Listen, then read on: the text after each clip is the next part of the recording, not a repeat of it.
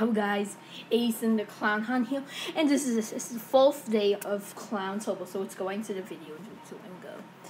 So I'm doing unboxing of animes, I mean swinging Happy Clown, so yeah.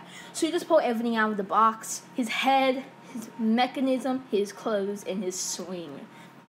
It's a pretty simple setup. You just have to lay him on the ground or attach him to something and then put his head on. Just to let you know, my, uh, mine is I had this prop a long time ago, but now it's kind of broken. I don't know why.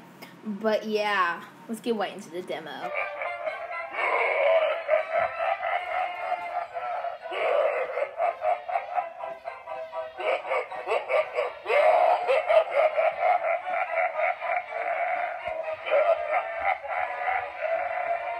So that was the setup. I really enjoyed this prop, and maybe a review would come soon. That's like it, guys. So bye, and don't forget the clowns coming. Haha. Bye.